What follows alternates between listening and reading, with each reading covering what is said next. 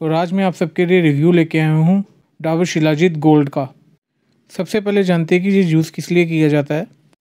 Dabur shilajit gold juice किया जाता है सेक्सुअल हेल्थ मेंटेन करने के लिए आपकी।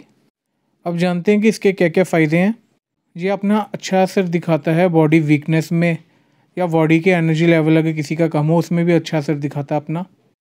इसके इंग्रेडिएंट्स बैलेंस करते हैं आपकी हेल्थ को। ये रिपेयर करता है आपके बॉडी टिश्यू को।